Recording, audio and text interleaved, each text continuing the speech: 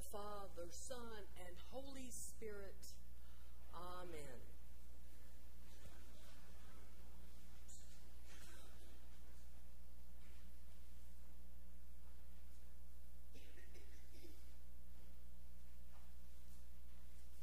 It's that time of year again.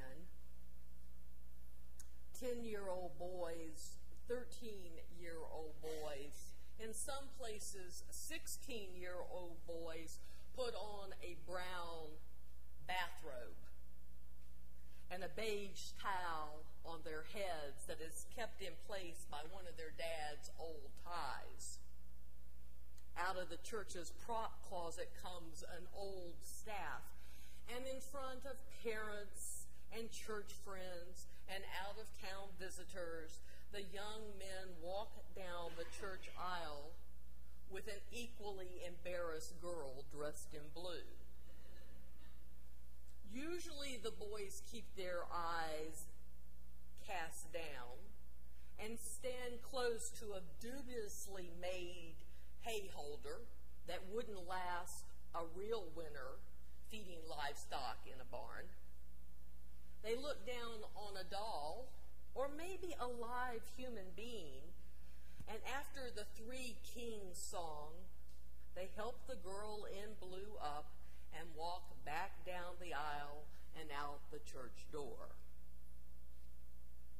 It's that time of year again. When the creches, the manger scenes come out, and on a table or a, mount, a mantle or near a pagan decorated tree, a stall is placed, and on the roof stands an angel. And to the side rests a lamb and a cow and maybe a donkey.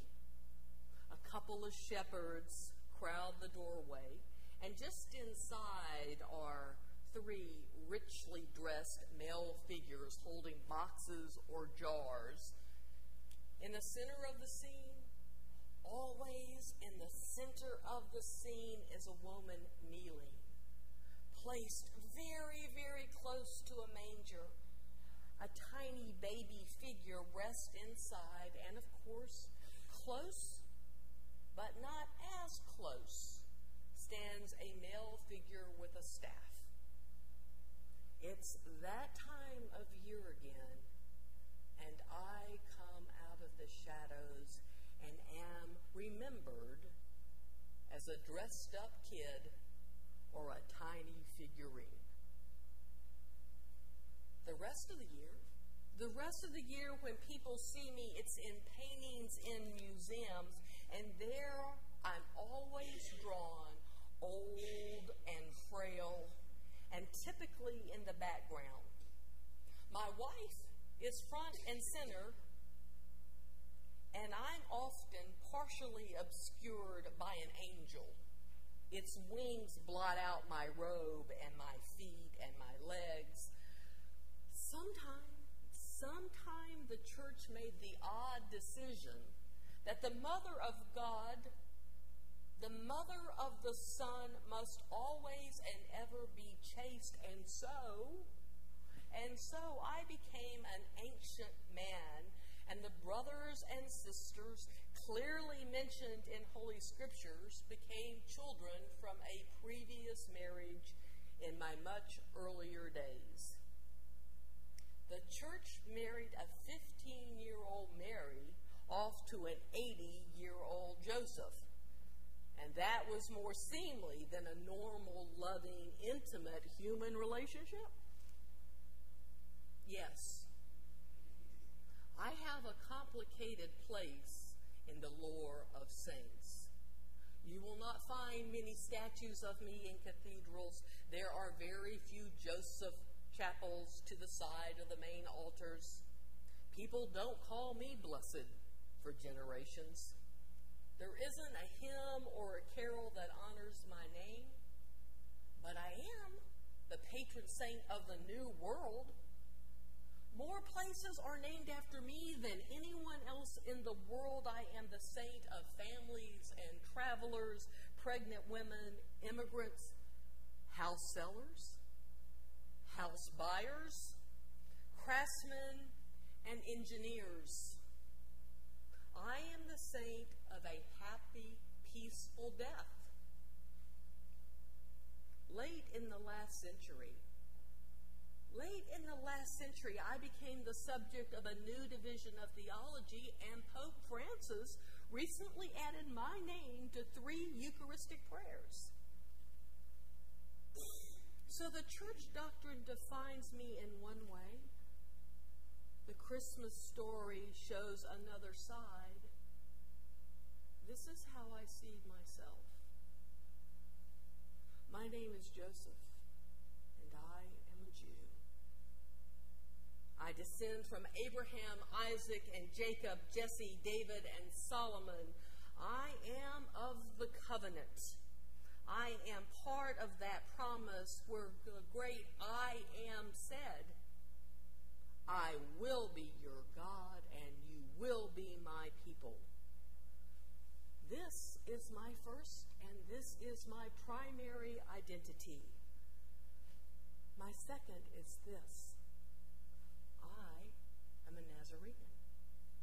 I was born and lived most of my life in that lovely but inconsequential village. I grew up in a loving home. I, follow, I followed my father, Jacob, and my grandfather, Nathan, in their trade. I was a craftsman. I was a carpenter, which in my time was an admired, stable profession. We weren't of the 1%. We were not wealthy by any means, but we did not live hand to mouth. We were not nomads and we were not outcasts. We made a sustainable living, and all the kids in the family could go to school and could study the tenets of our faith and our history with our God. And when we were very, very young, very, very young together, Mary's parents and my parents pledged us to one another. As we grew up together, we were happy with their decision. Mary and I were well suited. We liked each other, and that like grew to love. Of course it would. Of course it would. If the plan was, if the plan was to send his own into the world to live a fully human experience, of course he would want the child, the boy, the teen, the man to grow up in a loving, fully human family with care and respect and laughing and arguments and reconciliations. Mary and I could and we did provide that experience. And here's what to know about Mary she was introverted, and she did process things internally. And she wasn't a flibbertigibbet, and she wasn't overly dramatic, and she was steady, and she was kind, and she was comforting, and she was comfortable in her own skin. Sometimes she's portrayed as meek and mild, but Mary wasn't passive. Remember this the Holy Spirit didn't come upon her before she said yes. And here's the truth about me I'm not an exceptional man. I'm not just being modest or begging the question, hoping that you'll disagree. I mean, it's God's truth. I'm not exceptional. I'm not even the brightest, the smartest, the most charming of my father's sons. If asked, my mother would say, and my aunts would say, my uncles would say, the rabbi would say, my good friends would say, Joseph, he's loyal, he's reliable, he's steady, it's not a glamorous reference, but it seems to fit. I'm not exceptional, but apparently I didn't need to be. When it happened, of course, I was unprepared. How could I not be? It had been years. It had been years and years and years since Samuel had had visions, and it had been eons since the prophets had encountered oracles. And who did I know who had had such an experience? And who had I know who had known someone who had had such an experience? This was uncharted territory for me. And I was such an unlikely candidate for an audience with a holy messenger from the most holy. I wondered. And I knew everyone else would wonder too. Why him? Who is he that he should receive such news? I haven't said this before, but I'm not like Mary. I didn't always and ever have unquestioning faith, unwavering devotion.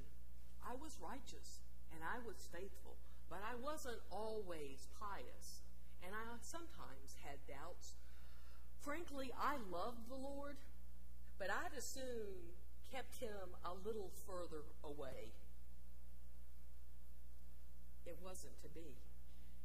I was brought close, so close, so, so close. Fresh hay, cold night close. And yes, again, I wasn't called blessed for generations. I disappeared from the narrative pretty early. I was at the temple. I was in the vicinity of the temple when he picked up the scroll and read. But I wasn't at the Jordan River when he met John, and I wasn't on the mount when 5,000 were fed, and I didn't see blind men regain their sight. I wasn't at Gethsemane, and I wasn't at the cross. But when it counted, I did my part. And here's what I want you to understand.